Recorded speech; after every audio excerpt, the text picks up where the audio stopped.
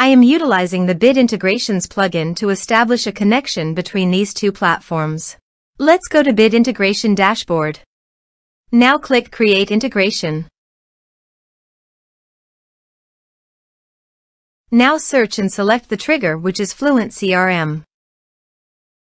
Select a form or task name from the drop-down. I am selecting a contact is create, you can choose as you want.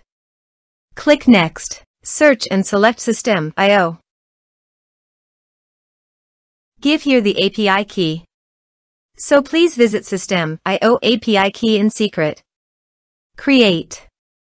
Give here a meaningful API key name.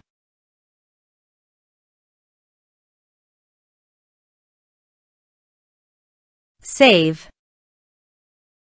Copy the API key and paste it into the integration site. Authorized it. Authorization is successfully done. Next.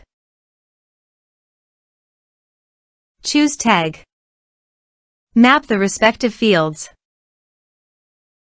Here is an advanced feature in conditional logic. You can use it for your requirement. Next. Finish and save it.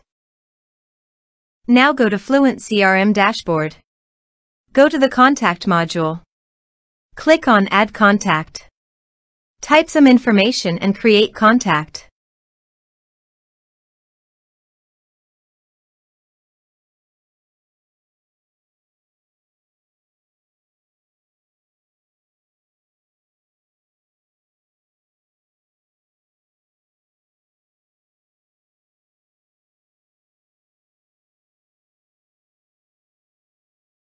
Create contact. Contact added successfully.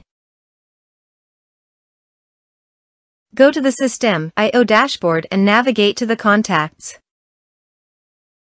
Here you can see data came successfully in the Systeme.io